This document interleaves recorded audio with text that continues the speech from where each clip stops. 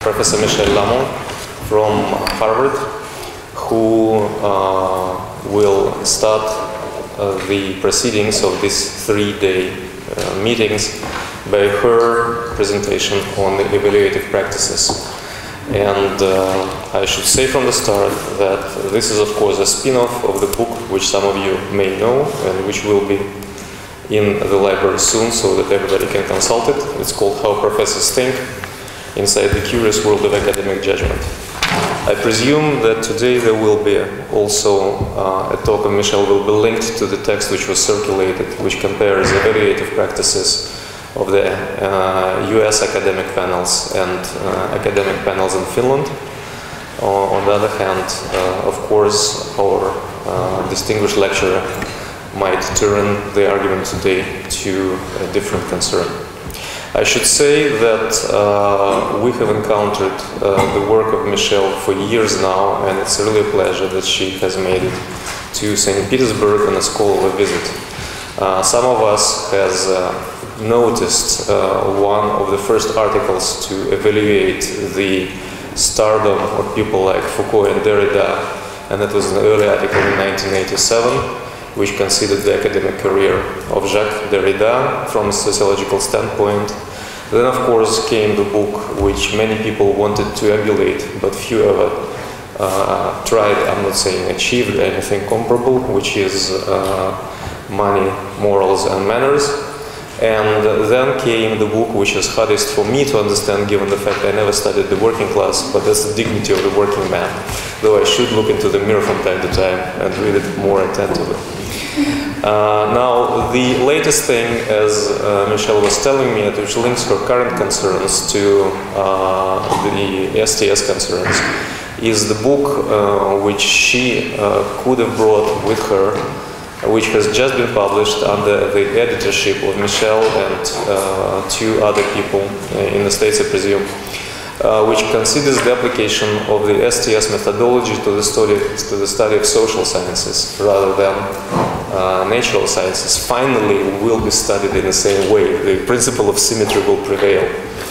Uh, now, uh, Michèle once again might uh, touch on these topics, maybe in the questions and answers period. We presume that we'll be having initially a keynote address, then questions and answers, then we'll have a short break, and then uh, Mikhail Sokolov will offer his reflections on uh, uh, dynamics of virtue and vice in the academic professorship, which simultaneously is a reflection on the work of Professor Lamont. Without further ado, I give this podium or rostrum to Professor Lamont, please. Thank you very much. Hi, everyone. It's a real pleasure to be here, and I thank you for the invitation. It's Especially a pleasure to be here at this momentous time when uh, it seems that STS is uh, uh, benefiting from a, a, surge of interest here in uh, St. Petersburg. And I partly thank uh, Oleg for uh, inviting me. We met two summers ago, had a wonderful exchange at a, an Italian restaurant nearby, and we both were left hungry for more exchange. So I'm very happy that we were able to arrange this. And I also thank Mikhail for uh, agreeing to comment on my presentation. As when he was assigned to me as a uh, discussant, I didn't know the depth of his knowledge about my topic and how fruitful this exchange could be. Uh, I will not be the ugly North American who comes here and tells you how it should be done. As a, I'm a Quebecois, I must say, and because of this reason, um, I'm partly sensitive to the issue of trying to impose norms of uh, academic productions to other environment. To me, as a sociologist, it's far more interesting to understand the, conduction, the, the conditions that might help us explain why evaluation is set up the way it is in the various community. And if anything, I hope that my book, How Professors Think, uh, could be helpful to people here, not in providing a model to be emulated, but more in feeding a collective discussion about how it is done and how it could be improved at the margin, given not only uh, the, uh, the way that higher education and research is set up, the way that distributions of rewards are currently set up here, but also the process through which individuals are socialized into evaluation as they are going to graduate school. One of the key argument of my book is that one of the reasons why peer review works the way it works in the US is that you have 3,000 universities that are spread out over an enormous territory, and it's a world that is extremely uh, with uh, we often think about the top 10 universities, you know, the Harvard, Stanford, Berkeley, as defining what American universities are about, but that is the very, very tip of the iceberg. And in fact, the vast majority of American universities function under different rules. I have a student who did a study of multiculturalism in English departments, comparing two elite universities and two community college. And she found that in elite universities such as Duke, departments would simply proclaim, yes, we're for diversity, and then the star professors could just do what they wanted in their classroom when it came to teaching diversity, whereas in the community colleges, all the professors had to sign a statement and have at the beginning of their syllabus, yes, I will commit myself to diversity, and then they had to follow extremely formulaic ways of doing it. So I think one of the big problems in the study of American higher education is that there's huge imperialism from the top which I represent teaching at Harvard. But one of the things, serious things that sociologists of higher education are doing now is really to develop a much more finely grained understanding of how knowledge production varies in the various uh, parts of this highly stratified system. But the key, the key argument here is really that the question of peer review is tied to the question of the formation of the self. What kind of self do academics have? and what do they do that allows them to maintain or to believe or not? Where do they find the value of their work? So what I found when I wrote How Professors Think, the earlier title, was Cream Rising. And it was Cream Rising because I found that the majority of the people I interviewed for this book believed that the peer review system worked. And I argued that one of the reasons it worked is that, especially in the social sciences and the humanities, you operate in a world in which it's extremely difficult to black box reputation, to use a Bruno Latour term. That is to, to, to consolidate a consensus about who's on top of whom. And one of the ways that this consensus is consolidated is to be invited to sit on, in these national competitions and be asked to judge the work of your peers. And when you have competitions like the American Council for Learned Societies that distributes uh, fellowships to uh, uh, full professors, associate professors, uh, assistant professors across all universities, you have 900 applicants, you have six, 60 people who receive fellowships. These fellowships are undoubtedly marks of quality and when people come up for tenure, everyone knows that if you get one of these, it's because your, know, your work has been acknowledged as being superior. So there's, in terms of the production of the stratification system internally, the, uh, the uh, surplus value that is associated with these fellowships is enormous. And concurrently, the prestige that is associated with being asked to serve on such panel is also very considerable because by accepting to serve, people accept to serve not only because they, it allows them to set the agenda for their field, that is to decide what kind of work should be funded, but also because it is a mark of distinction.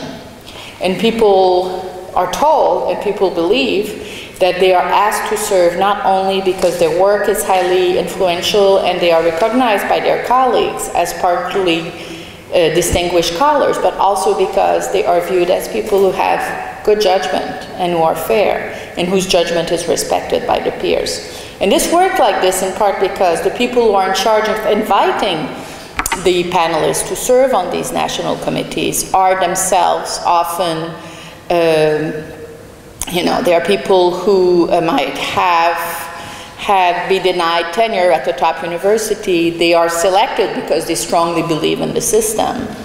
And uh, when they decide who to invite, they survey the environment to determine who would be a good panelist. So all this, these factors work together to, to legitimize the system. Now, one of the big questions of the book, which I don't raise in the book, but which is the, the, the complementary agenda, would be to see whether people who are at the periphery of the system believe in it as much as people who are at the center. So how about people who never apply for fellowships? How about people who teach at Idaho State University in, you know, the middle of nowhere? We don't have the answer to this, but we have data to answer the question. Because um, uh, three years ago, I chaired for the Canadian uh, Social Science and Humanities Research Council a commission charged with evaluating peer review practices. That organization is the equivalent of the National Science Foundation. It, it, it distributes grants and fellowships to, um, to graduate students, postdocs, and faculty members all over Canada. And part of the research involved doing a survey with 10,000 academics, who many of whom had never applied for money, many of whom had never served, and really this will you know, analyzing this data would allow us to have a much fully formed uh, picture of what at least Canadian higher education looks like in terms of how people believe the system works or should work. So um, the paper I'm going to discuss today is uh, the paper that, uh, like mentioned, had, I, I didn't know, been uh, circulated, which is really a comparison of some of the findings from uh, how professors think with a, um, uh, a competition that is uh, conducted by the Academy of Finland. And you would think, why the Academy of Finland? It's partly important because there is a program called Norface, to which uh, a dozen European countries have uh, joined, often small countries like Norway, where the academic community is very, very limited and where the network density is such that it is very difficult to believe that people would be able to judge because they're judging, in fact, people next door. So many of these smaller countries, and there again I sympathize as a Quebecois, which has a very, Quebec has a very small uh, academic community, uh, the idea of uh, putting together engineering, it's really a matter of setup. How do you engineer procedures of evaluation where all these little countries are pulling together their resources so that they have a common pool of non-Danes evaluating the Danes, non-Portuguese evaluating Portu uh, Portuguese evaluators, to really try to disentangle the very complex um, and dangerous overlap between network density and similarity in criteria of evaluation. One of the things I find in my study is that very often people define as excellent what looks like their own work what is excellent is, you know, people who do the same kind of work I do. And, you know, we're not Holy Spirits, you know. It's very hard for us as academics to step out of our criteria or our own visions of what is good, in part because our, our tastes are formed by the community in which we live. And also academics think that they're being asked to serve precisely because they're experts. So for instance, just to take a random example, Oleg has spent 20, 30 years developing an expertise in his field in sociology. He has an extremely detailed categorization system by which he is able to see what is new, what has been done before, what is old hat, what has potential. So like me, he's also excited more by some agendas than by others. And one of the reasons he's asked to evaluate is precisely because his understanding of what is exciting is based on this enormous knowledge that he has. So people believe they're asked to serve in part because they have this knowledge. They are, because of the knowledge, they are qualified to do judgments of expertise, which have to do with quality of execution. But they're also asked to make judgments of taste, which is what excites me, and this judgment, this criteria of excitement is extremely dangerous because that's where idiosyncrasies come in. So I will mention, for instance, some of the people I interviewed who say, I'm a dancer, I love dance, therefore I stood up and I defended this proposal on dance. That's not an intellectual argument. So it's a total argument that has to do with idiosyncratic taste. But the issue is how do you bracket those idiosyncratic tastes when you're asked to do a job that is relatively, you know, where you are using universalistic criteria. But at the same time, many people believe they are there precisely because they have good taste.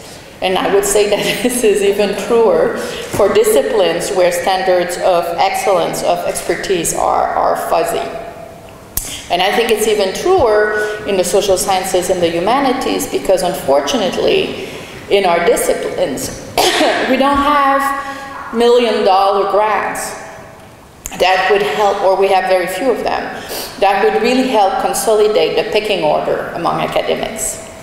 Which means that this, the status hierarchy is often up for grab and people will very easily try to, wait, to, to throw their weight around, and the conflicts in evaluation panels are often more violent precisely because they become a theater for the contest in, in uh, the creation of pecking order. Uh, a friend of mine who is a, a, physicist was noting that, in his opinion, the conflicts among social scientists are much more acute in, and I was saying, yes, it's in part because you guys, you know, who got the multi, multi-million dollar grant is not the topic of debate. Whereas in our case, the small differences are much. So these preliminary remarks is, are leading me to two points, which is first the need for a more systematic analysis of uh, the conditions for social knowledge production, evaluation, and application. And Oleg mentioned uh, the book that just came out, titled uh, Social Knowledge in the Making, which I co-edited with uh, Charles Camic and Neil Gross, just came out at University of uh, Chicago Press.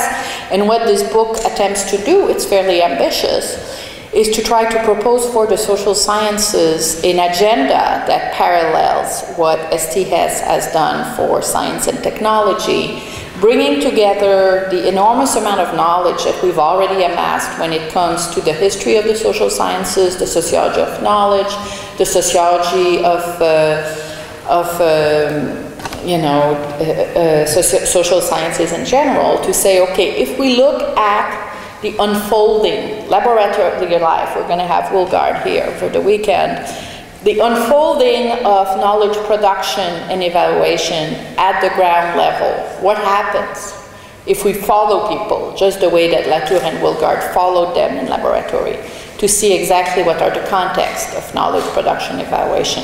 That's what I try to do in my book and what I'm gonna, I did in the paper I'm going to present today. But the argument is very much, you know, to look at uh, knowledge production in the making. The chapters, for instance, just to give you an idea, looks at the seminar as an organizational form, looks at the library, looks at the role of deadline. I think if all of us didn't have deadline, we would all be very unproductive. So there's a beautiful chapter of, about that follows a philosopher producing a paper and how you know he forces himself to have this deadline and then he has to fly in Paris and instead of visiting Paris. He's stuck in his room finishing his paper, you know, and uh, how, the, I'm sure you've all been there. I've been there certainly. I spent part of the day in my room instead of going around. So, um, so all these conditions, the spatial and temporal context in which knowledge is being produced and evaluated. In the groups I studied, for instance, you know, basically you take a bunch of academics who've never met each other, you fly them to downtown Manhattan. You put them in a, you know, skyscraper, typically like the 32nd floor, windowless room for two days. You lock them up in there. You give them a pile of maybe a 100 proposals that they need to discuss. They have two days to do it. Of course, the first few proposals they discuss, it takes forever because what are they doing? They're a bit like dogs marking their terrain. They're explaining what they have done in the past that makes them partially qualified to talk about proposals in rhetoric or in Chinese history or whatever. Each proposal that is being discussed becomes the occasion for them presentation of self. Very lots of narcissism going on. You know, I did this, I did that, I did that. Takes forever. And uh, at the same time they are pre presenting their credentials. So they are engaging in presentation of self. And we see here the context of the deliberation as being shaped by interaction, individuals who don't want to walk out of the room after two days feeling that no one listened to them. Right? This is extremely frustrating. So they establish their credentials and um, the um, uh, so, so really analyzing, I analyze this in the context of, uh, of interaction. The other general point is really that um, this, this approach cannot be transposed everywhere. I recently wrote a, an introduction to uh, the translation. My book is going to come out in Chinese.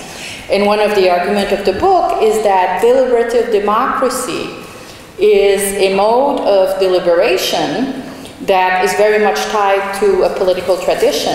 What happened is you transpose it in China, where the academic world does not have this culture of political democracy, where this notion of turn taking, of uh, you know free expression around the table simply doesn't work at all. So there's a huge number of questions that need to be asked about what happened when, you know, it's not again a question of emulating American practices. It's more a question of understanding how the peer review practices become hybridized by the local context in which they are transposed. Um, over the last two years, there's been debates about my book in places like Italy, and now there's going to be one in Spain, places, Southern Europe, very well known for the clientelistic culture that predominates in academia. And young people who are really fed up about this have created electronic journals, which they can do for free, to really circumvent the role of the, uh, the gatekeepers who are older people whose own positions have been based on the control of publishing houses and journals. So they have, they're really trying to change, the, to me it's a little bit like the Arab Spring of Italian academia. They're trying to change the rule from the bottom. And uh, in that context, they're kind of using my book to force, you know, to, uh, to, to, uh, to, to shake the, to shake the, the system and, and bring about a, a collective reflection about how it could be done otherwise. So now I'm going to jump into the, the, presentation of this comparison. I will simply say one point I was developing earlier that I didn't completely finish is, you know, the importance of time and space. I mentioned these people stuck in the building, the, the skyscraper in downtown Manhattan. The problem is they have two hours to do it. And they know that at 5 o'clock on Tuesday, everyone leaves and flies back to uh, Los Angeles and Chicago and, uh, and Idaho. And uh, this really influences the conditions under which the deliberations are carried. The more times pass, the less and less time people are spending on each proposal, and the more horse trading there is. So I'm not at all arguing here that the American system is pure. You know, there's tons of horse trading, there's tons of alliances. They're simply not practiced the same way, maybe, than they are in Italy. People will simply not say, You help me this time, I'll help you. People will never say that but of course they do do it. Okay, so some background on my project. It was a comparison of um, five uh, nationally uh, very prestigious competitions for fellowships and grants that were distributed by the Social Science Research Council, the uh, American Council for Learned Society, the Woodrow Wilson National Fellowships uh, that gives fellowships in the social sciences and the humanities, and two very prestigious anonymous foundations that have agreed to uh, contribute. One of them uh, is a Society of Fellow at a, an Ivy League university. So I interviewed people within a few hours or a few days after they had participated in the final deliberation. What does that mean exactly? There's normally two steps. If there's a competition that has 1,300 files, you have associate level professors, uh, people who have their PhD, teach in universities, but don't, are not full professors yet, who will do the screening. I'm not looking at this level. I'm looking at the finalists. There might be, let's say, 100 of them for 30 files, and I'm looking at this meeting where people are getting together and deliberate. And I have, prior to the interview, the list, the rankings of the applicants that was published, that was produced by the individual in isolation in their living room before they come together. So a month before the deliberation, they receive this pile, they hide away from their family, and you know, it's a sacrifice because you don't necessarily feel like reading these files on Sunday afternoon. And um, and then they give it normally a number, you know, they rank order them, and then they all fax in or email their ranking, and the staff people compile them, and when they walk into the room, they are given the list, the final ranking, and then they're really amazed and marvel at the fact that often the tops, there's very high level of overlap in who is ranked the top. And then they feel like, oh, it works. We all share the same criteria for quality. And these people are very quickly given the fellowships. They're not even discussed. The bulk of the discussion is about the people who are in the middle, because people in the middle, normally, they all are good enough to have made it there, but their proposals are all faulty, but they're differently faulty. So the question is, how do you make different kinds of fault commensurable? How do you compare them? So then people are really engaging in little competitions for framing. You know, is the, the proposal dilettantish or is it sufficiently precise? And that's where, you know, the power dynamic kicks in. And in principle, the, the the panelists are all equal. That's the, presume, the, the assumption of deliberative democracy. You know, they're sitting around a table, but there are huge variation in age, degree of expertise, gender, uh, the prestige of the institution from which they, they come from, but the rule of the game are that the older man who teach at Harvard is not supposed to stand up and say, I'm right because I teach at Harvard.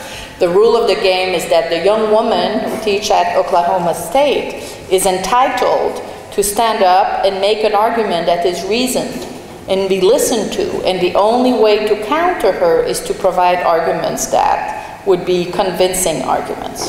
Okay? So this is the setup. Uh, the argument here is not about comparing biases and unbiases evaluation as much as to capture how the evaluation unfolds and how it is carried out and understood by emotional, cognitive, and social human beings who interact uh, with the world through specific frames, narrative, and convention, but who nevertheless are able to develop expert views concerning what defines legitimate and illegitimate assessment. So how I do this, the interview schedule focuses on an approach which I describe as, you know, studying boundary work as a through interviews. It's a kind of laboratory experiment. The probes are who was the best uh, panelist? Why? Who was the worst panelist? Why? Who was the most similar to you? Who was the most different from you? When they describe to me the worst panelist, who did they talk about? Typically, the person who talked about, who had an opinion on everything without having read the proposals very carefully. Uh, the people who did not respect those rules that I'm going to describe, most of what I'm going to describe today is what I call the customary rules of evaluation. These are rules that you never learn formally. They're never taught to you in a seminar. But you learn how to perform them by watching your professors perform them. And they have to do, for instance, with uh, uh, disciplinary difference. If there's a philosophy proposal being discussed, I'm not supposed to think that my opinion on Wittgenstein has more legitimacy than that of uh, uh the philosopher in the room. And you, if you don't give deference to the expert, you're very quickly viewed as arrogant and you're singled out as the worst panelist. Um, the, uh, so, so as people are describing these rules in the interviews by, you know, it's a very Garfinkel, Harold Garfinkel ethno-methodological approach to, to, uh, to identifying the taken for granted rules by asking people to describe to me who broke them and why and who the, the interview schedule is also about who were the best applicants and why. And there's also questions that have to do more generally with their understanding of the culture of academic excellence. So for instance, do you believe in academic excellence? And in the American context, where many people have read Foucault, they think of academic excellence as simply, you know, part of the disciplinary process, and will, some of them will say, no, I don't believe in academic excellence. This is just an ideology. But this year, I'm the one who's been asked to evaluate. And I can certainly do that. So an arbitrariness, and this is partly, I've seen this mostly in people, faculty from anthropology and English. You don't see that in economics because they truly believe that excellence exists and they believe that they can recognize it. They think it's an objective hierarchy. There's also a huge difference in the extent to which they believe that intersubjectivity contributes to the recognition of, um, of quality. So for the economists, they think there's an objective ranking here. All we have to do as evaluators is name it, point to it, and give life to it. But they don't think it has anything to do with intersubjective deliberation. Whereas for people who are more attuned to a constructivist paradigm, they will say the hierarchy doesn't exist if we don't name it. You know, we engage in a work of framing where, you know, I have to pick out of these 1,000 proposals the one and I'm going to give it voice to. So whether they understand excellence as, or the, the, identification of excellence as an uh, intersubjective process or not varies enormously with the disciplinary culture from which people are emerging. One of the chapters of the book is precisely on these interdisciplinary cultures, comparing, it goes from economics, the most uh, objectivist discipline, to political science, which in the US has basically been colonized by economics. Many political scientists wish they were economists.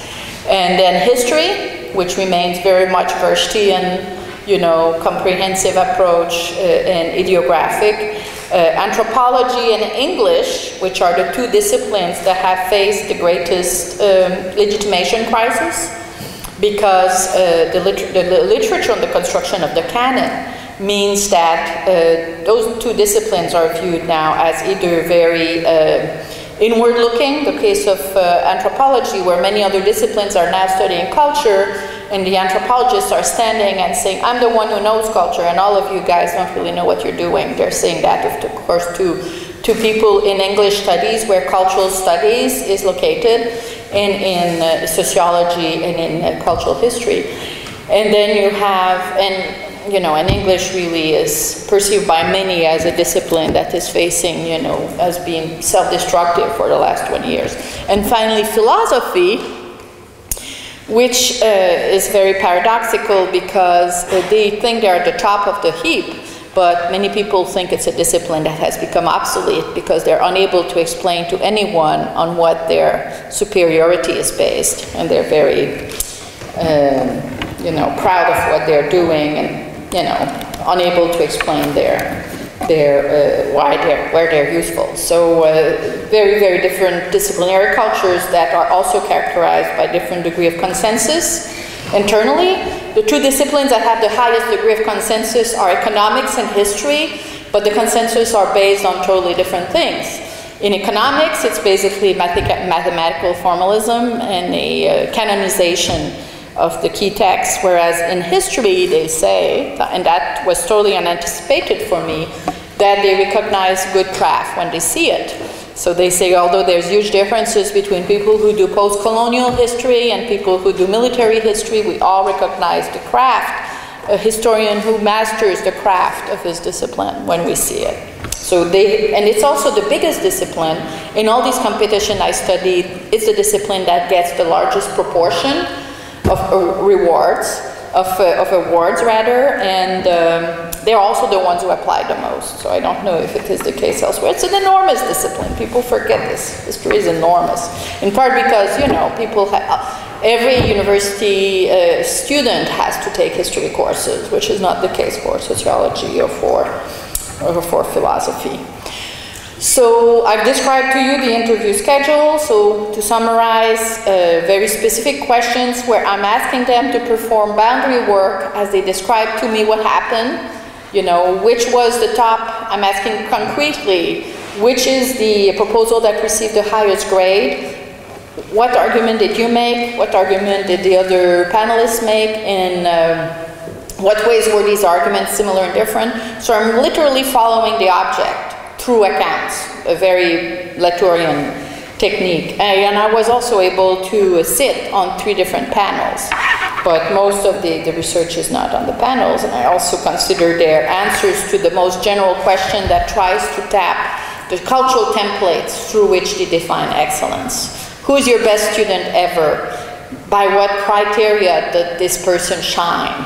Brilliance, originality, because the book was also very much concerned with fleshing out the meaning that is associated with the criteria of evaluation. Those criteria are given to them by the funding organization. They are typically originality, intellectual significance, social significance, and feasibility. Is the applicant qualified to uh, to do the project, but what we didn't know is really the meaning assigned to these criteria. For instance, originality doesn't mean the same thing at all in the social sciences as it does in the sciences.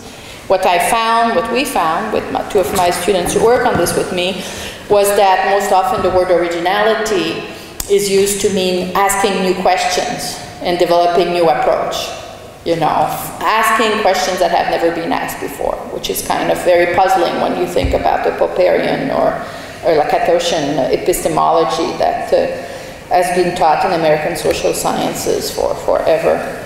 So, um, okay, so this is basically the background. Uh, the, uh, I'm also going to be drawing on the work that my collaborator, Katri uh, who studied the Academy of Finland, uh, the research that she did for dissertation, she studied four panels, and uh, those panels were chosen precisely to have different kinds of mix of expertise than the panel I had studied. One of them is unidisciplinary, whereas all my panels were multidisciplinary. They had different kinds of expertise. One of them had citizens, generalists on the panel, which whereas I didn't, and we will see that, you know, in line with the work of Harry uh, uh, Collins and John Evans, uh, the generalists uh, use very different kinds of arguments. You know, they talk from their heart. It's not arguments. It, they talk about common good and what the, the good of the general public. We also can compare uh, panelists that, panels that have only scientists versus those that have um, social scientists. The panels that she studies do not uh, rank proposals. That's a huge difference. My, my panels, uh, it's a zero-sum game. Not everyone can be number one. Whereas the panels she studied, uh, everyone can get an A so it, it's a panel where you have two steps. You have the scientific panel that rates, and then you have a decisional panel from the Academy of Finland, composed this one only of, of Finnish people that decide who gets the money. So in some ways, their role is advisory as opposed to decisional, and that also creates a very different uh, dynamic. So um, the, I'll describe to you those five, the, the four panels she studied, and then I'm going to get into the description of these um, uh, customary rules and how they are articulated differently across the, the panels that I studied and she studied. So a first proposal, a first group that she studied, I'll summarize to you my, I highlight some of the findings at the same time as I described to you some of these panels. So, as I mentioned already, among the most salient customary rules of evaluation we found, the first one is differing to expertise and also respecting disciplinary sovereignty, which manifest themselves differently based on the degree of specialization of the panel members. So basically, there's less difference in unidisciplinary panels, where the of pan- uh, the specialties of panelists more often overlap. Basically, if you have a panel made of experts of, you know, Syrian archaeology under uh, Greek rules, it's going to be a total disaster because they all know exactly the same things and they don't want to differ to each other. The panels that work best are the multidisciplinary panels where you don't have much overlap. There's a zero-sum game between the people who have very similar Uh, expertise. There's also less respect of disciplinary sovereignty in panels concerned with topics such as environment and society that are of interest in, to wider audiences.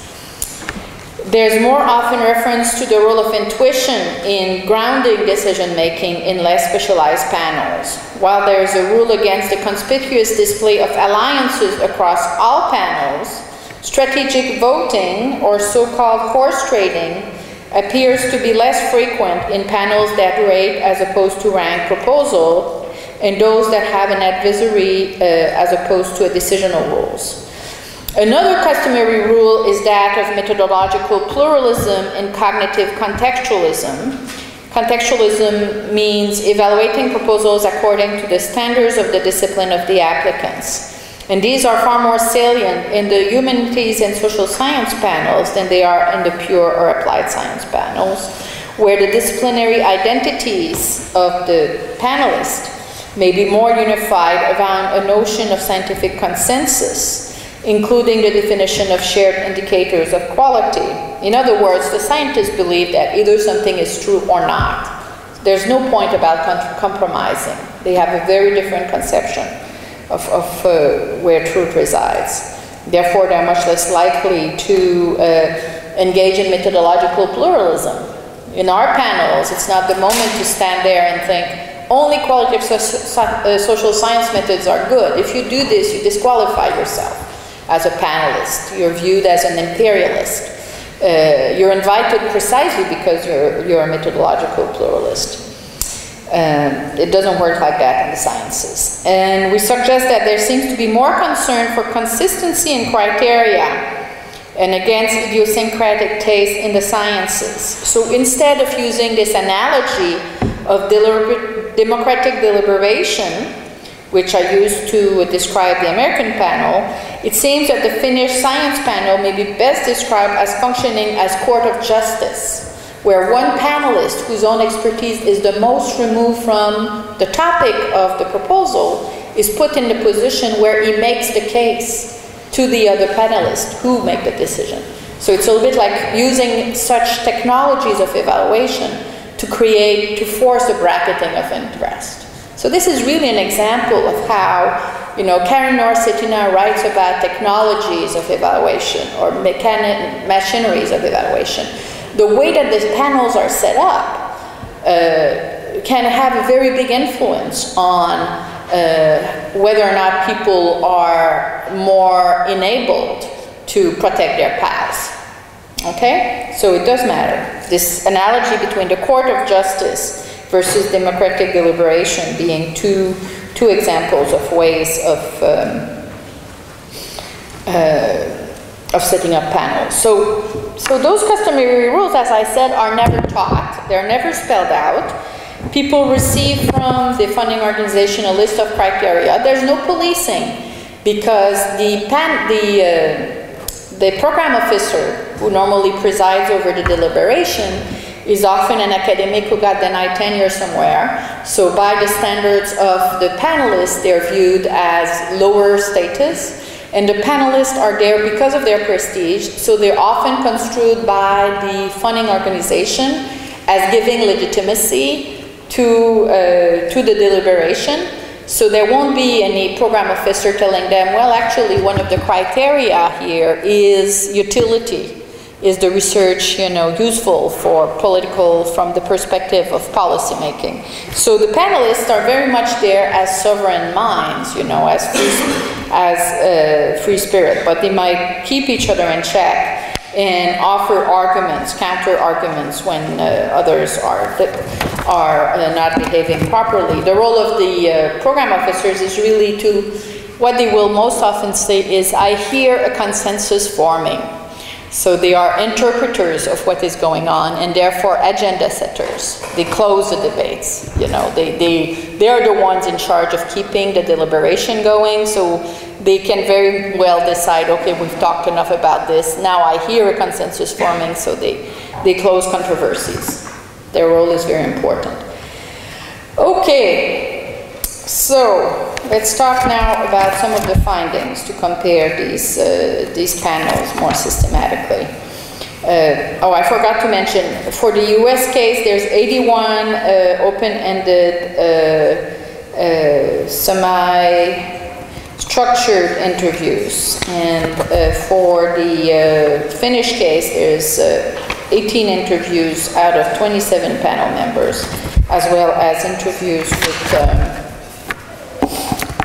with panel officers. Okay, so um, what I'm going to do now is describe to you a few of these uh, customary rules. I took a little more time to introduce the project than I was planning to. I can take all my time? Okay, I'll slow down then. Am I talking too fast? No? Yes or no? There are international students, there are Russian students. You will feel by the audience response. Uh-huh. Okay, I'll slow down a little bit.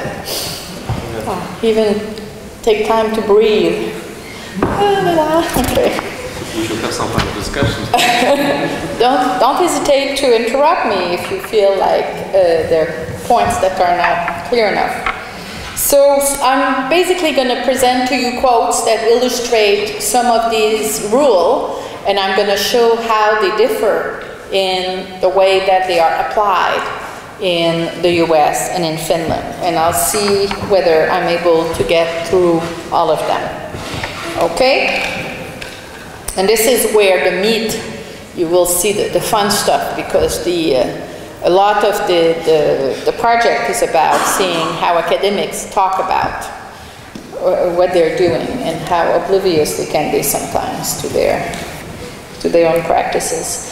So, okay, the first rule is different to expertise and respecting disciplinary uh, sovereignty. So, I, as I said earlier, um, in principle, because this practice is based on deliberative democracy, people sit around the table and they are, in principle, enabled to engage in full, equal, and free exchange of opinions through deliberation. But people vary in their age, race, and gender, etc., and they engage in a contest where alternative frames for each proposal is possible. So, is the proposal well written or glib? Is it broad and daring or dilettantish? Uh, is it current or trendy? There's such a small margin between current and trendy, you know. Uh, is it painstakingly focused or disappointingly obscure? So panelists formulate interpretive frames and attempt to convince one another that theirs is the most adequate. In this context, this is a context that gives rise to this rule of different to expertise. So when they want to advocate a position, they invest a lot of energy into staking their rightful claim to evaluate it. As I said earlier, they mark their territory. They provide evidence of their competence. A historian notes that a proposal looks good until somebody says, and that's where those multidisciplinary panels are so interesting, that there's a whole literature you could not reasonably be expected to know. So, art history, you know, 15,000 books already on Magritte's later work, you know, how would I know? So basically, people really count on each other around the table. And this really legitimizes the competition because they know that they couldn't do it by themselves. It's impossible. So, particularly when listening to someone who, quote, comes in extremely expert and careful and is a person I respect a lot, and this historian finds it prudent to differ. If this expert says this is really a fairly banal proposal, then I just sort of say that it must be true. Okay, this is very different when you have unidisciplinary uh, competition, where if you put Oleg and I in a sociology panel, we have an idea of what's going on in our discipline. And you know, no one can tell me that something is extremely banal without me having an opinion about it. So the more common form of difference involves what we call the customary rule of respecting disciplinary sovereignty. So the panelists' opinion generally are accorded more weight with regard to the proposal emanating from their field. And violating this rule creates huge conflicts. The biggest conflict I witnessed when I was doing this project was actually in one of the, the panels that I attended, where there was a philosopher who was uh, defending a proposal that the two feminists on the panel thought uh, had implications for a very universalistic notion of uh, human nature, which they thought had been totally destroyed by deconstruction. And, you know, they simply were not ready to let this guy have his way with this Kant proposal. And they prevented the proposal from being funded. And the philosopher, who thought of himself as far superior to those two women, was extremely upset and he refused to have lunch with them. So he went to sit at a separate table. And that's where the, the program officer had to expend a lot of emotional energy, emotional repair to convince this person to come back at the table. So she said to him, No, no, it's just on this particular one. We really value your opinion. You're extremely respected by all of us. Please come back. So it worked, but it required a lot of work. And this is really an example of a major breach. You cannot do this, you know. You cannot, if an astrophysicist were to tell Oleg and I that the sociology proposal is not good, we would certainly have a fit and feel extremely insulted that this person would have the arrogance of telling us what is good in our field. So, uh, unsurprisingly, we find that this rule is more widely respected in the American panels that I studied because they're all multidisciplinary than in the one Finnish panel that was unidisciplinary. That's a panel on environmental ecology. So, overlapping expertise makes it difficult for any one panelist to convince others of the value of a proposal when opinions differ. Insulting on sovereignty would result in intense conflict for scientific authority. So while distance lends authority to the view of others, the toughest rivals are those that one is closest to. Durkheim had already written this in the Division of Labor. So uh, this is acknowledged by a uh, Finnish panelist, as one of them puts it, when it was clear that the first person was a real expert on this particular field, which the second person hasn't known, obviously they deferred to this person's opinion. But to change the climate of the discussion, if you're both huge experts in this field, then you can argue about it. So the rule of deferring to expertise appears to play out differently depending on the substantive issue the panel is concerned with. In, in fact, we found that less weight was put on specialized expertise and more was put on general arguments having to do with the common good in the panel Environment and Society, which concerns the social aspects of environmental change. This is a topic that is broadly debated in the wider public, the media, and activists who claim the right of non experts to participate in decision makings about issues that affect their lives. So, in the eyes of one evaluator serving on this panel, the combination of expert opinion and broader consideration is essential for optimal decision making. So, he says, I think you need to have the expert in the field to comment, particularly if there's a proper methodology, or if there's a proper question, because only they really know the literature.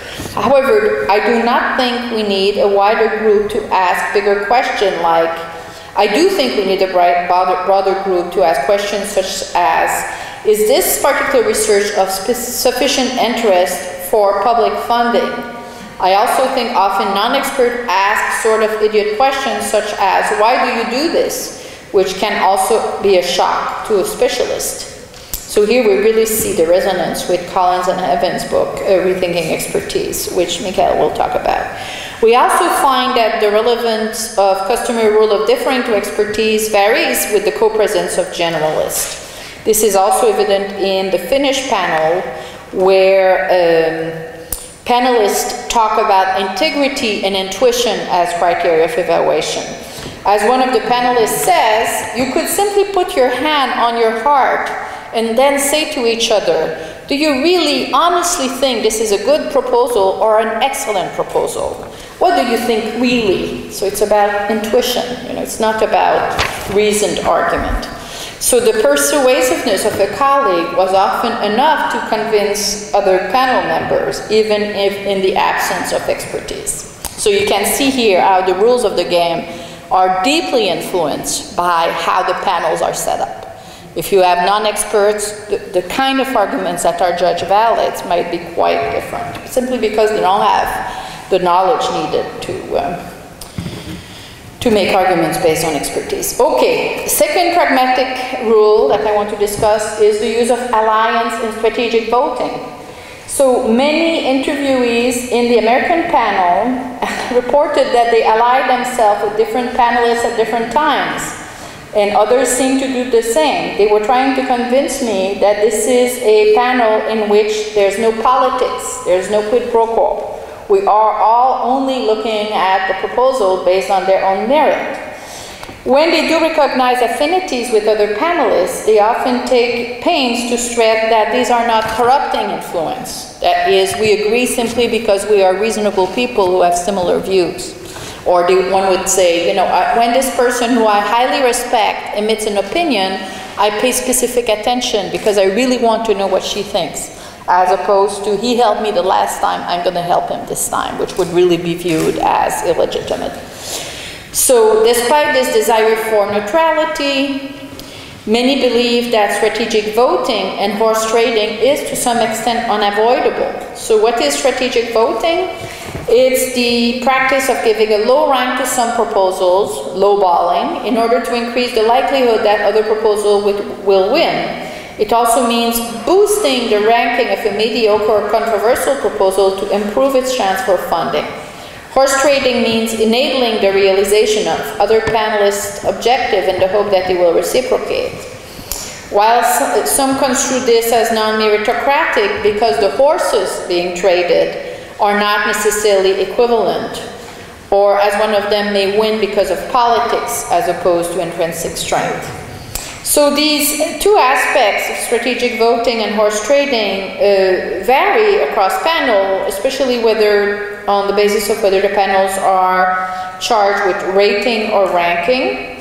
So in a nutshell, the ones that are uh, charged with rating, uh, we see much less uh, horse trading because all of them can have very high uh, ratings, but at the same time, people who, who do this, who are in such panels, feel like the procedure can be very meaningless.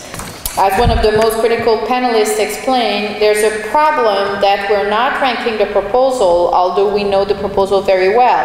If you analyze our grade, it will be a kind of normal distribution. There's a lot of number trees which are useless and very few fives or four, I guess. And I don't think we put any one or just a few twos. So the Finnish committees that will take over after us, they are not very much helped by our statement or grading.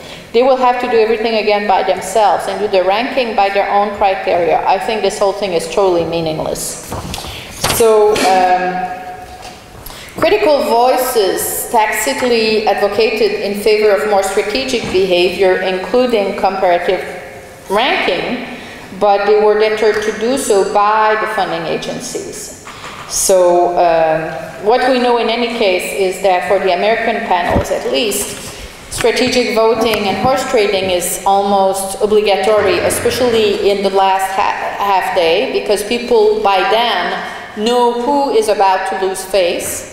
So they are much more likely to assist each other. They know that everyone wants to walk out feeling like they've been able to win some. And they all depend on each other to get their pet projects funded. So, uh, you know, I have quotes where they say, I was willing to go along with this one because I knew that this other one I really wanted to be funded was going to be funded. So, this emotional dimension, which, by the way, the literature doesn't talk about at all, I think is extremely crucial.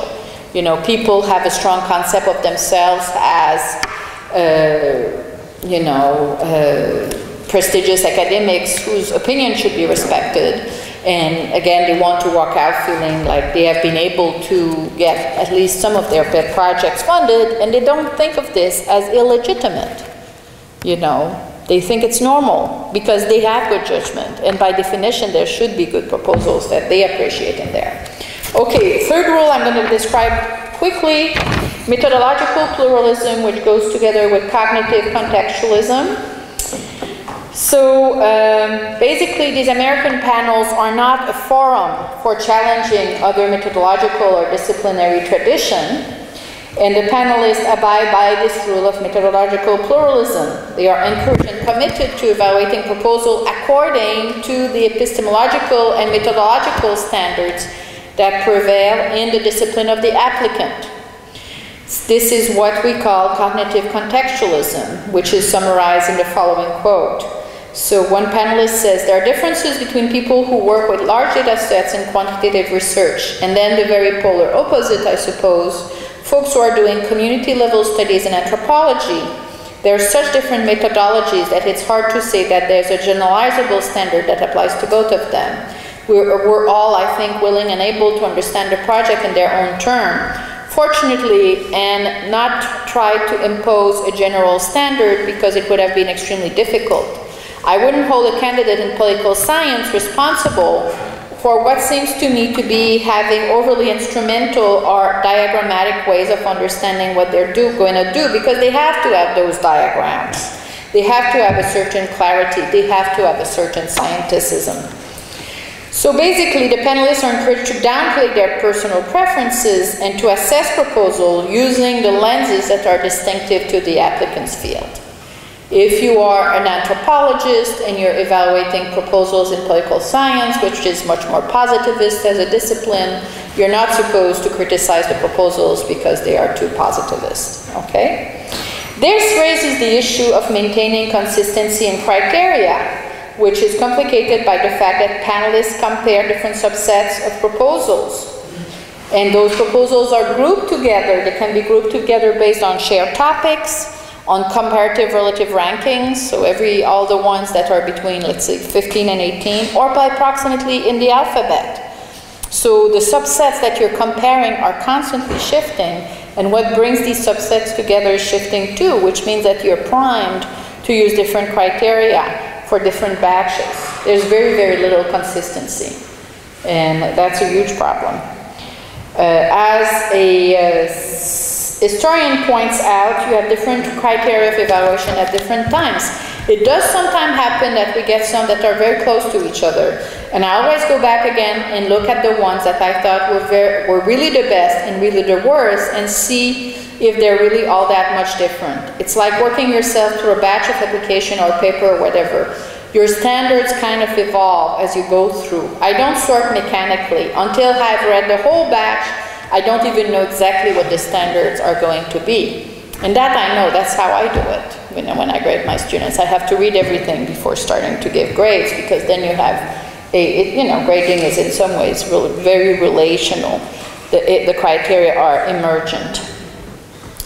While the, the respect of disciplinary difference is salient in most kinds of panels, this principle of methodological pluralism is, appears to be most supported by the epistemology of the social sciences and especially in the humanities. In a close examination of the Academy of Finland panels, we see that the social science uh, evaluation were indistinguishable from their American counterpart with respect to these rules. But this was not the case for the more scientific panels in Finland, which were much more committed to using consistent standard of evaluation, as opposed to adjusting their judgment to what counts as good work across fields. So this goes hand in hand with the epistemological culture where controversies between what is seen as true and false tend to be less open-ended, as scientific and other types of evidence may be more constrained may more strongly constrain debates in the black boxing process. Moreover, consensus formation may be more central to the identity and possibly evaluative cultures of those scientific disciplines. So, an ecologist, for instance, recalls many occasions where the panelists worried about inconsistency Sometimes we went back to previous applications and said, if we evaluate that in this and that way, then we would have to use the same criteria when we're looking at this one. If we say that the person hasn't been abroad means this and that, we will have to use the same criteria for another application. application. I think we tried to be fair. So an important mean of producing coherent evaluation for the scientists is the harmonization of scale. They would say, how likely is it that this proposal would get into science and nature, or that the result from this uh, research would get into science and nature. So they try to agree on what a grade five would mean, and then they compare all the proposal to it. So there's a real attempt to, uh, to control for variation. I think I'm going to describe only one more uh, rule and then I'm going to stop because I'm taking too much time. So I mentioned earlier that these idiosyncratic tastes So we have to go back to Weber, who reminds us that rational legitimacy comes with the application of impersonal and consistent rules. By trying to bracket their idiosyncratic taste, the panel members help to sustain the collective belief in the fairness of deliberation.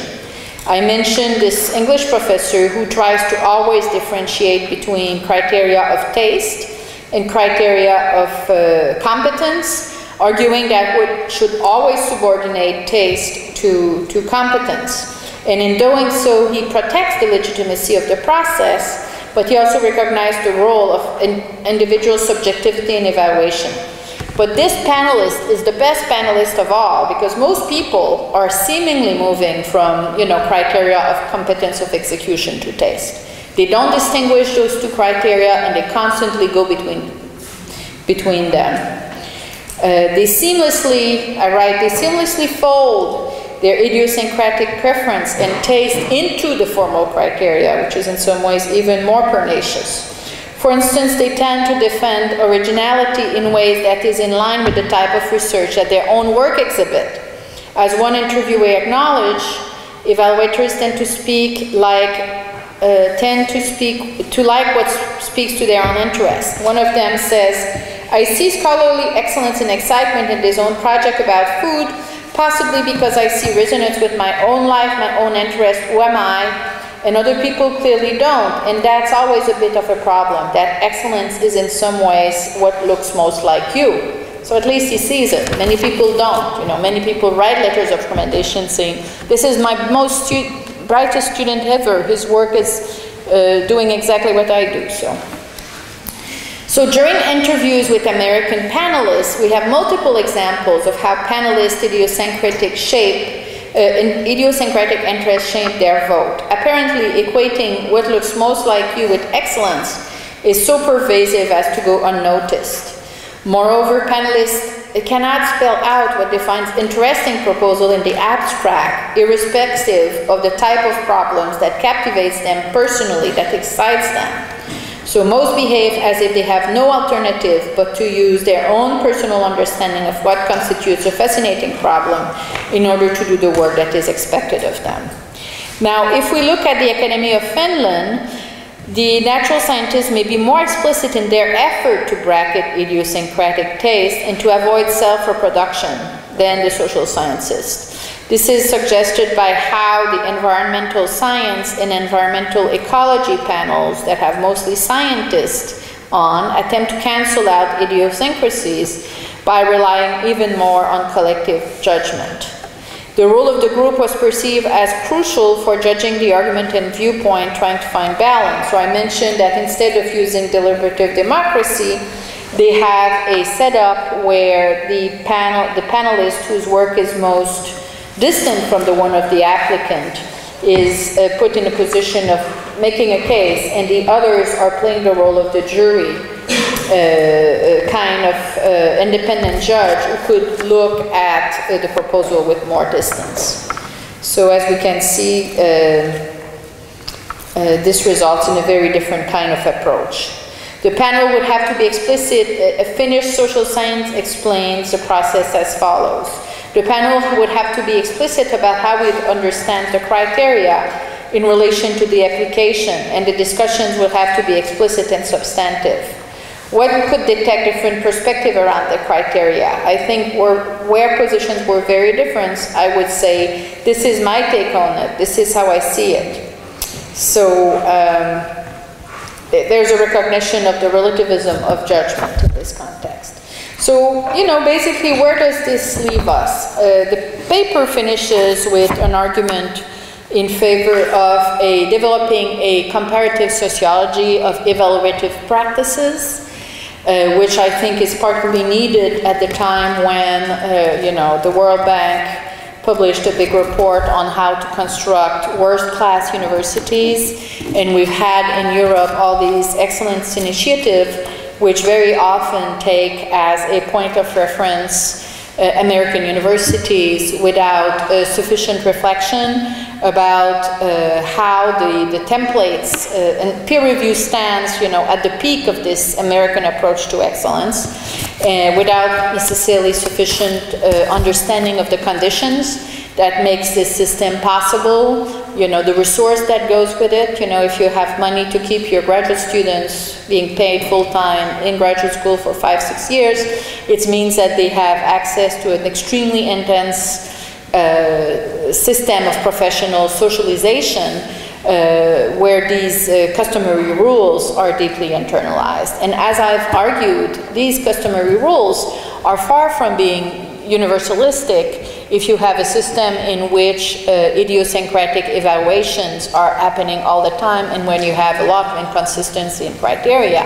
The big difference, I think, is that you have a system that is driven by market mechanisms, which leads people to believe that it is an open system. I know for me, as I was, I'm Canadian, I went to do my graduate work in France, then I got a postdoc to go to the US, and one of the reasons I, I stayed in the US is because as a young woman then I could see how I thought it would be easier for me to succeed in universalistic term in a huge system where, you know, when you go on the market after you finish your PhD, you send your application to 60 places and it's a market mechanism at work that determines you, where you end up. Whereas the Canadian system is a little bit like, I guess, the Russian one in that you have very, very few universities. And therefore, and this is the argument that Michael will develop too, that um, if in a system where you have very little uh, geographic mobility, it's much harder to play a universalistic card. The, our graduate students, their universalistic card is to try to get a paper published in ASR, American Sociological Review or American Journal of Sociology, because they, if they succeed at getting that, they know that they will get interviews in a larger number of universities. And in the US, it's even more important to do this because if you don't have it, you might end up living in Alabama, which is really hard for an academic. So, uh, you know, you have different system for people.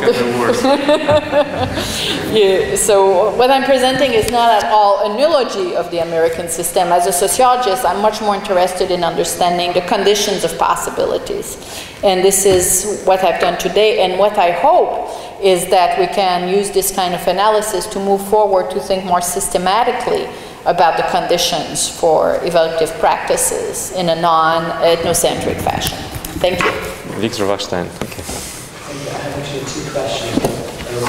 One of them, I was intrigued by the notion that the evaluation process is actually a work of framing. So, um, if I understood this correctly, and if I'm not just telling uh, framing involves not only all those implicit mechanisms like uh, rules, uh, so on law, uh, but also a lot of explicit cognitive work. Segmentation device, selection, meaning making, uh, so-called explicit framing. So what is the connection between explicit and implicit mechanism of evaluation So where can we draw this line between this is a with framing, like, that's a marvelous work. And that's actually a hidden uh, machinery of knowledge uh, or should we say that, okay, if the relation marks are consistent, we can say that there is a hidden work of relations going on, and if they're not, some framing uh, and interpretation of them. So this is my first question. And the second one, Wow. Maybe at the end. okay. In some ways, I can make a scholastic distinction between the two, simply decide arbitrarily that the work that the funding organization does in setting up the uh, evaluation process in you know the distribution of labor and deciding whether you're going to have you know rating versus ranking would be i guess i would describe this more as institutional rules right um, The, there's a number of things that are, are speakable and that would that are formally given also as rules to the panelists like you have to desist yourself when your students are being discussed or your colleagues. So there's you know in those rules you really see the Weberian approach to rational legal uh, legitimacy at work in that you have to have impersonal rules and you have to have clear rules about desisting yourself, which are very much respected, and which people mention as demonstration that the system works. One of the issue there is that there's like no one asked me to desist myself when the best students of my best friend who teaches at another university is being evaluated. So the specification, which happens all the time, especially at the top because people know each other. So in relation to the Russian system, I think, you know, the difference at that level are not that great. You know, probably there's the ties between the St. Petersburg department and the Moscow department are as tight as those between Harvard and Columbia and Yale and Chicago. So, you know, we don't want to, to have a too uh, idealistic view of the American system there. So the informal rules, um, you know, I describe them at times using a Goffmanian concept of frame. Uh, I think I'm not partly wedded to this. You know, I think that we could also describe them using other concepts, like uh, the concept of repertoire, or uh, what I know is that. Um, you know, using a kind of ethnomethodological approach to see what emerges. You know, basically what I care is to think of them as meaning making and as taken for granted uh, rules that emerge when they describe people who break the rules and how angry they are when they describe them. So, otherwise, I think it's basically an analytical issue of which framework you prefer to use. I'm a very pluralistic person when it comes to this. I published last year a paper with Mario Small. Um, which is on uh, the concept of culture that has been used in the literature on, on uh, poverty which reviews uh, six different concepts that cultural sociologists have been uh, using for the last few years to look at the relationship between culture and poverty. And for those of you who want to have a quick introduction to the current state of cultural sociology in the US, it's very much a paper that was written for economists and demographers people who continue to have a notion of culture that uh, harken back to the culture of poverty argument or to Parson. And we say most demographers, economists, epidemiologists think of culture as values. In fact, that's not at all what we're talking about. We're talking about frame, narrative, institutions, uh, habitus, and we describe them very concretely. So, uh, I'm, this is a long way to say I don't really care about frames. I could use, you know, I'm more of a Geertzian in some ways. I'm more interested in making, making, and in, yeah. So, okay. a long way to give a simple answer.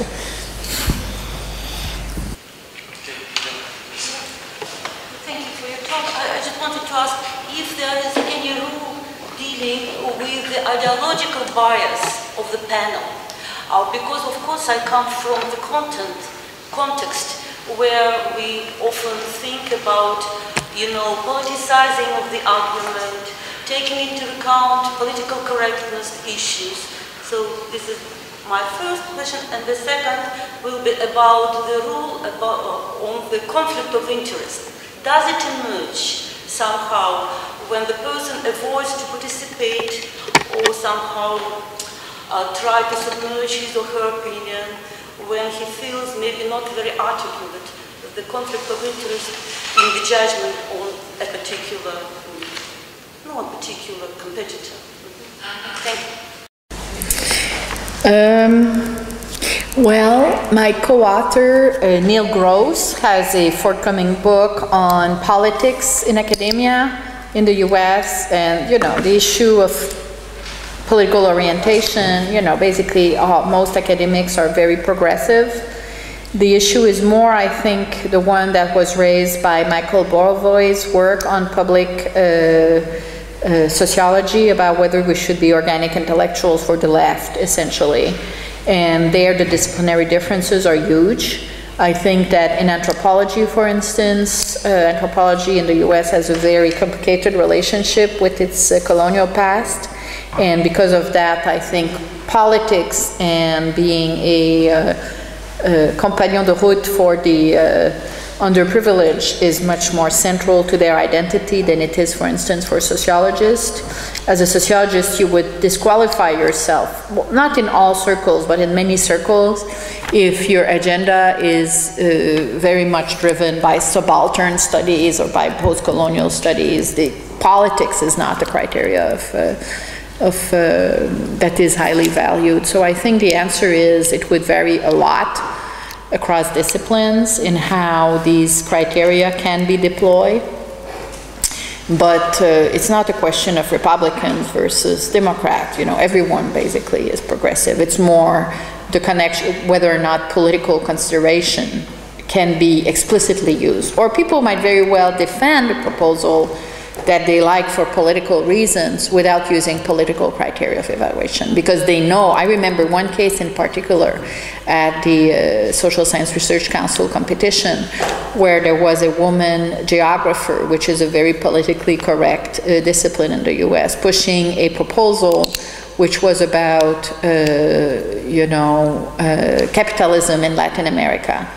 And the proposal was considered very faulty by a political scientist because the person who wrote the proposal said, I will measure something, but there was no way that this person could measure anything.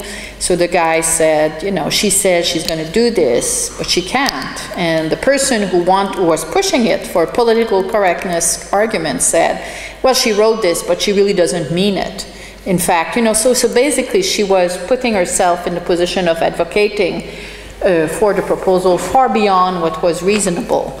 And uh, when I interviewed the panelists on this controversy, uh, the political scientist said totally this person was pushing it for political reasons. She was simply not evoking political argument because she knew that she would have lost using political argument. So this is really about taken for granted knowledge of which criteria can be evoked in these kinds of contexts.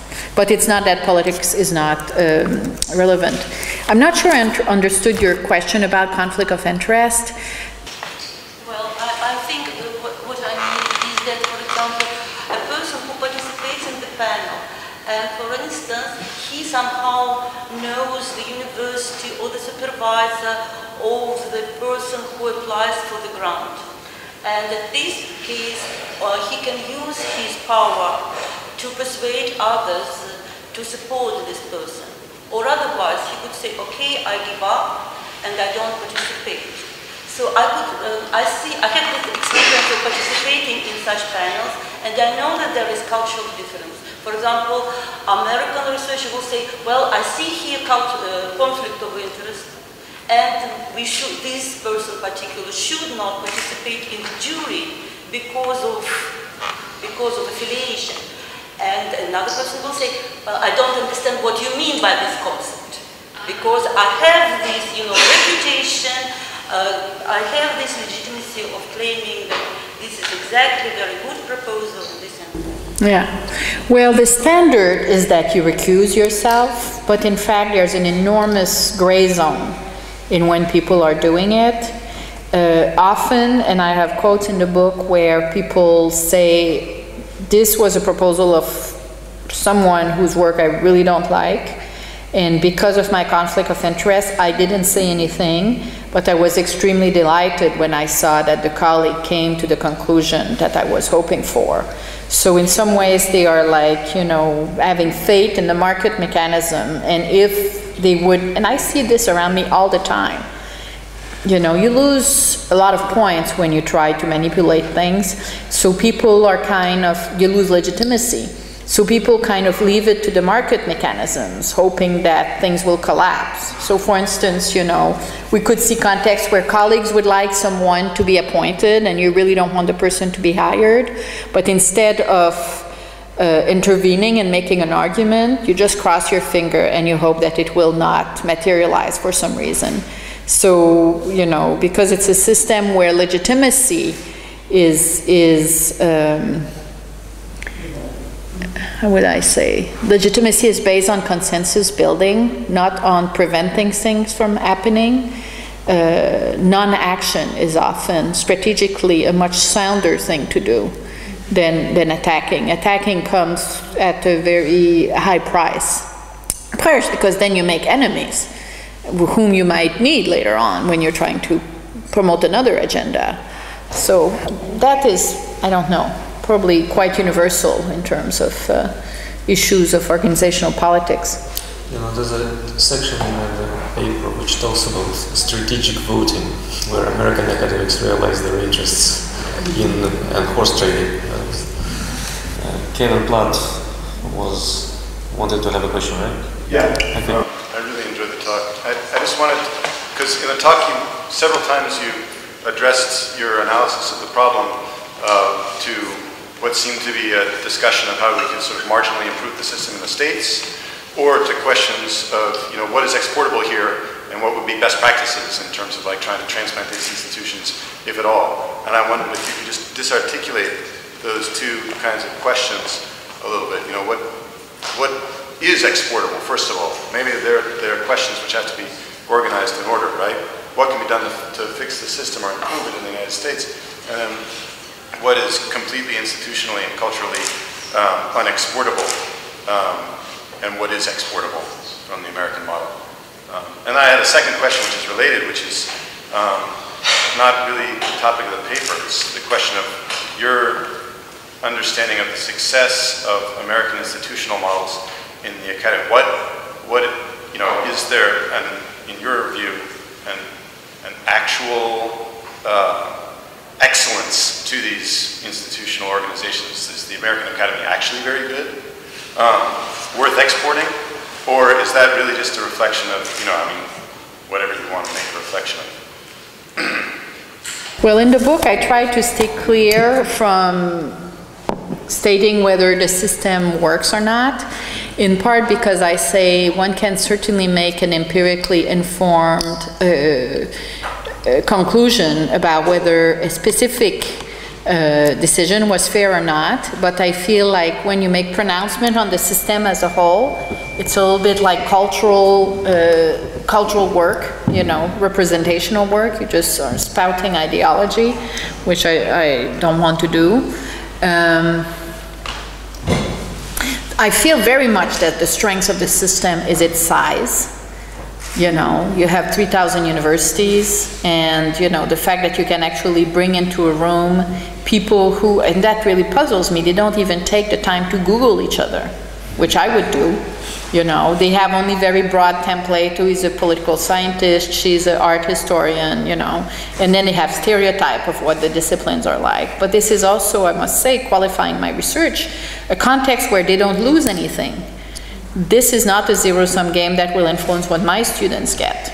You know, I'm just distributing, and these are fairly well-endowed competitions. So people might want to say I'm a philosopher, and the, the program officer says that. They say it's so hard to get any philosophy proposal funded because the philosophers are so oblivious. They don't know how to articulate why their discipline is interesting. So then she tells the panelists, I really have to try to mellow you out toward uh, philosophy so that we get at least, you know, one panelist. But, you know, this is totally different than me with my colleague trying to negotiate who are going to be our graduate students that we're admitting where you know I'm directly affected by the decision in terms of which students I will have to work with. Which, by the way, in our department at least, I cannot say I want to have those three people. You know, the, the, uh, the, the, admission committee is not consulting the colleagues, which has a big negative, which is that you end up with students you didn't choose, you know, which is not always great. Um, so what is exportable, I think, is not exportable, which is the size, the, the, physio the physical distance, the size of the market, the fact that it's a system that has a high level of mobility which is also the downside because it goes with neoliberalism. You know, people who are leading their lives disembedded, you know, from from uh, very stable social fabrics. I'm, you know, there's a lot of negative aspects that go with this. You know, it feeds individualism. You know, I mean, I'm I'm involved in another project called the Successful Societies, where we're looking at uh, you know uh, recognition and other aspects of, you know, new book forthcoming title, Social Resilience in the Neoliberal Age, which is really looking at the counterparts of this, you know, of uh, what life in neoliberal societies look like. And the system that makes this possible is a neoliberal system, One where people are extremely focused on their personal success, and where we live, a faculty live in a world where you have to be extremely productive, you know, and it's not a race, it's a marathon. So you have to be extremely productive over 50 years, not over 10 years. And we're training CIS students who are able to function in the same system. So there's a lot of downside. The upside is you win by publishing. So it's in a very, very productivist system. And is this worth, personally, as a woman who, um, you know, I mean, I was socialized in France at a time when very few top faculty knew how to train women. So I much rather function in a system where I have more freedom, precisely because it is a productivist system where publishing gives me freedom. I would not want to be in France, where, you know, basically as a woman, being nice is the main thing that will help your career you know? So and i don't know enough about the, the russian system to uh, to, to have an opinion on it. I would say. Take a look at the proportion of women in the audience. well, you have a lot of women here. but uh, I really like what the Italians have done. I think you know what I what is expert. I don't know what's exportable, but I know that if I were in a system where I feel like the uh, old gatekeepers are monopolizing the system and putting their mediocre peons in positions of power, I would maybe follow what the people at Sociologica in Italy have done to create a, a, a journal that is not under their control, so that then you start spinning institutional means of diffusing your work that is not controlled by them, and I would internationalize I would connect with, uh, you know, with uh, other academic systems and uh, uh try to, to gain more autonomy this way. And really uh, try to change, uh, you know, the practices in the younger generation, the people who feel most frustrated by the current practices. But I'm really talking without much knowledge of the context here. You'll get more. Let's get more questions. Okay. Catherine. I'm a student at a UK University, and we've actually been having a lot of discussions about neoliberalisation of the about the neoliberalisation of the university. Yeah. Um, and so that is you know, the increasing influence of the market on what counts as, as knowledge and how knowledge is created. Um, some people, yeah, they've even called it as a sausage factory, you know, putting out sort of identical items that are, you know, taste the same, look the same, they are the same. And a lot of this, I think, has to do with idea of the, the um, uh, impact number that um, academics are, are, are, given according to where they publish. You know, the, the more well-recognized and more mainstream journals, the higher your number will be, and the more uh, well-respected, I guess, you would be. Um, I was wondering what um, the relationship was between what, what you described as a very sort of qualitative process of, of um, peer review and, and this very sort of quantitative um, uh, impact on number? And also, to what extent does the market actually influence how this is done? Yeah. Well, the uh, British case stands uh, a little bit as the epitome, I think, of the neoliberal uh, audit society. And uh, interesting and yeah so it's it's really a case in itself i think in the extent to which uh, quantitative uh, the quantification of performance has. Basically i'm very much opposed to it. I think it makes sense for fields such as chemistry where you have an extremely high level of consensus about the ranking of journals and such. I spent last year and i was on, on sabbatical in france so i spent a lot of time there conversing with colleagues about uh, the push there toward quantification, and it creates totally absurd situations where uh, committees are appointed to create rankings among sociology journals, rankings that in fact are largely arbitrary because you have Revue Française de Sociologie and then a bunch of journals that are each tied to to various uh, you know subgroups and it's very uh, difficult to uh, to differentiate them um, so I'm my this is a context in which Sarkozy is constantly putting down academics for being unable to evaluate themselves. I'm a big proponent of peer review because I think peer review is the key to professional autonomy, which is the key to professional status. So I think by, in, in France, there was a lot of union people who were opposing peer review because their argument is if you agree to do this, you're being the puppet of Sarkozy. Uh, my position is much more nuanced than this. It's that if we don't police ourselves, we will be policed by uh, academic uh, managers of the type that you have at, uh, in Great Britain who don't know anything and they're imposing numbers because they're unable to make judgments of quality. And I feel like it really, the, being able to make judgments of quality is the conditions for the survival of our disciplines.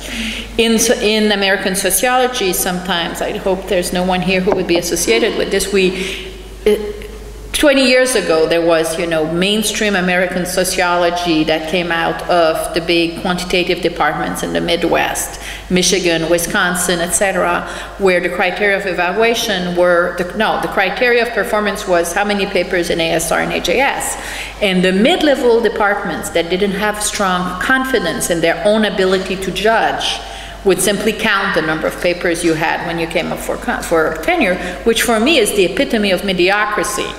At the minimum, you know, faculty should be able to read the papers and determine whether or not debate whether or not the papers are significant. So, uh, you know, I would certainly be an advocate that, you know, I mean, if we're a world of, of experts who know anything about the knowledge produced in the field in which we function, we should be able to de deliberate.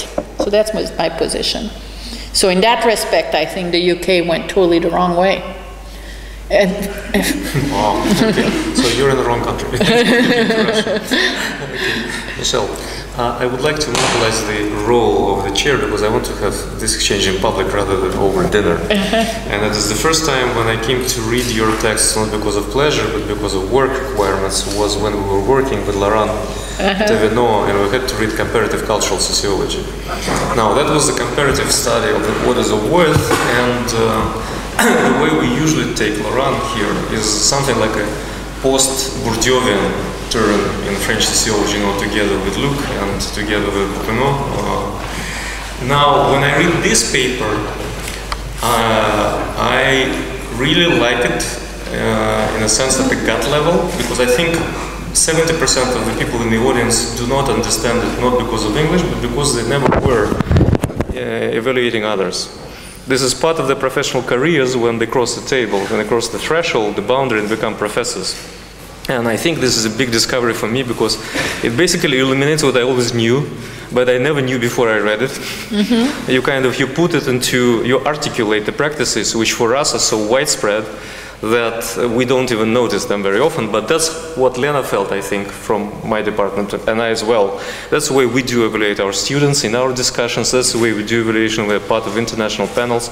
So the sense of recognition was total.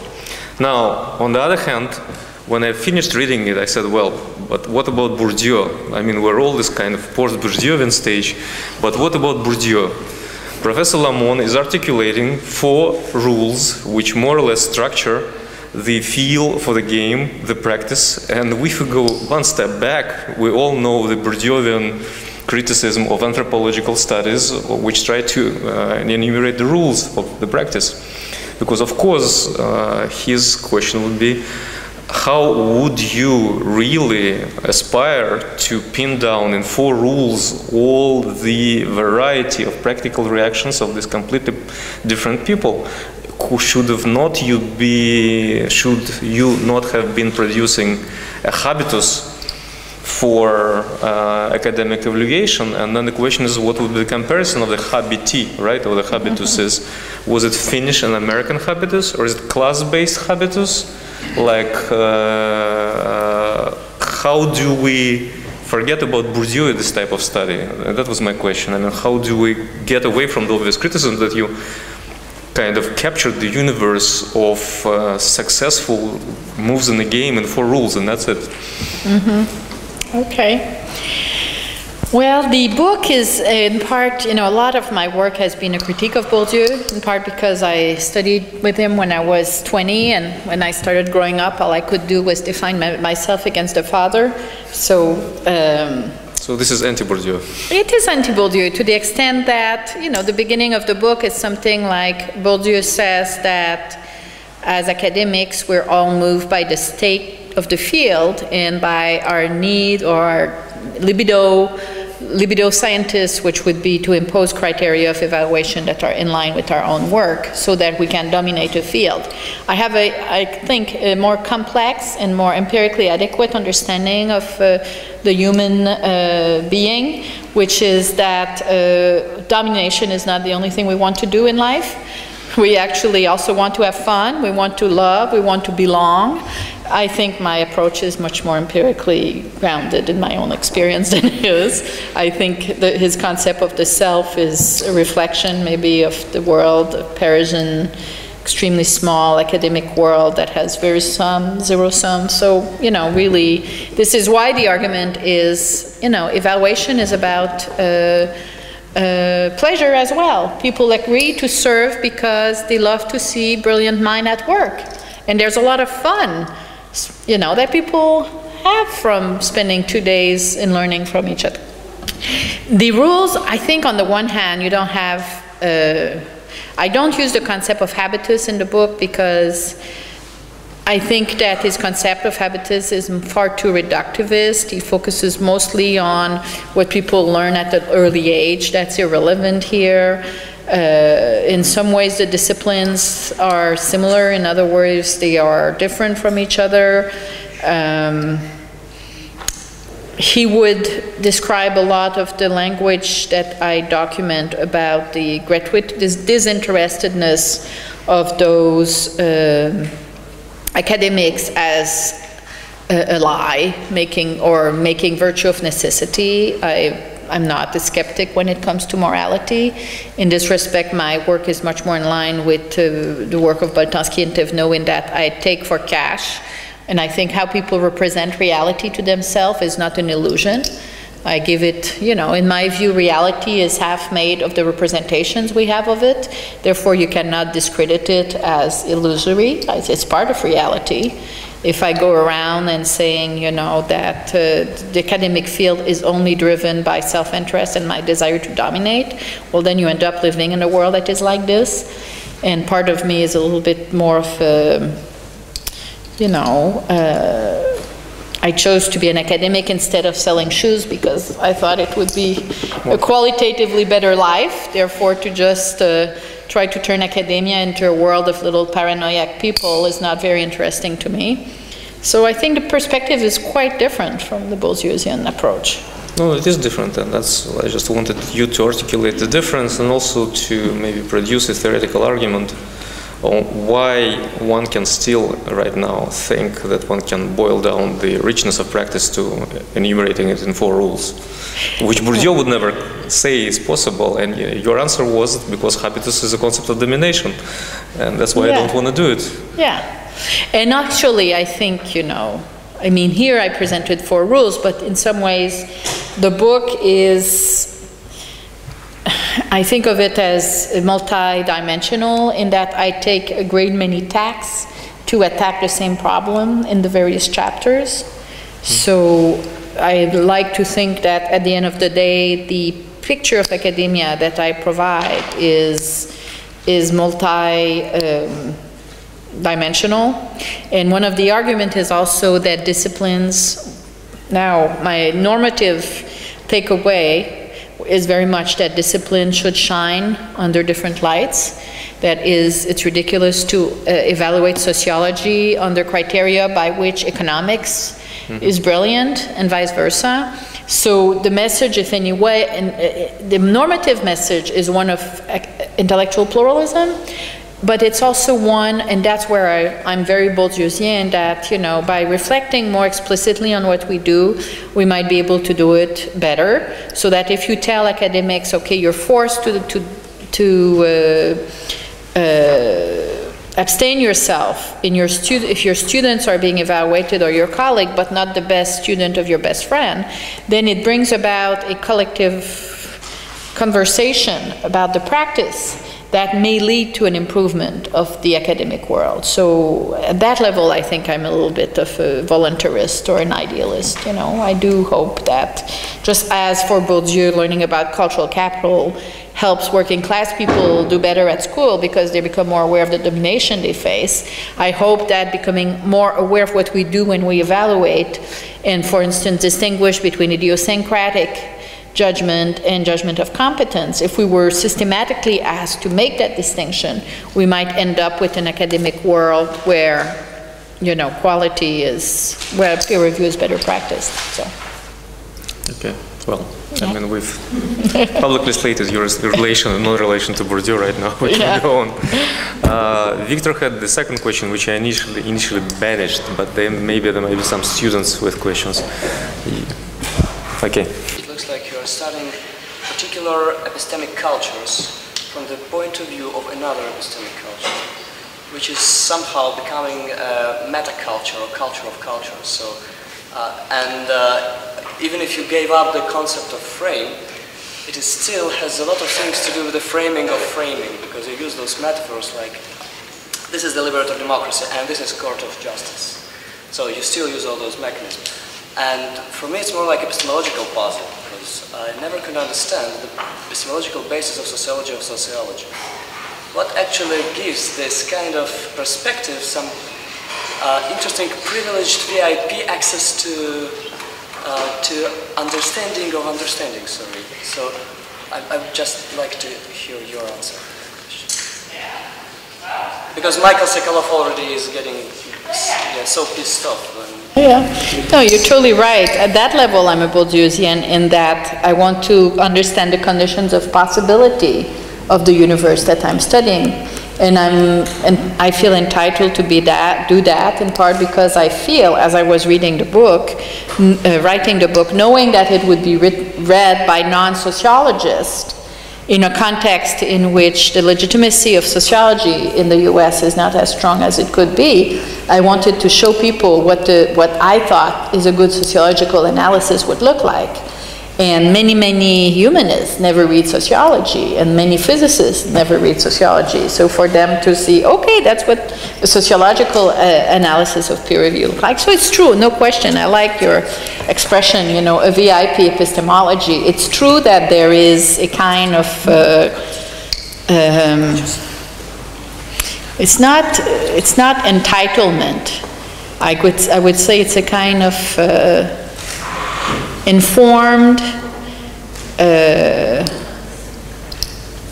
informed knowledge of what of what is the added value of this kind of analysis, which I'm ready to I contend and I'm ready to defend is superior to the native's perspective analytically. So yeah, but you know, that's what I do for a living, you know, why not?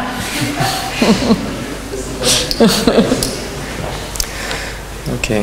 Well, we're sort of having a short break, but I think we're not going to have any short break because we have an intensive discussion, and I also would like to give Michelle a chance to answer to what Mikhail will say about her sociology. So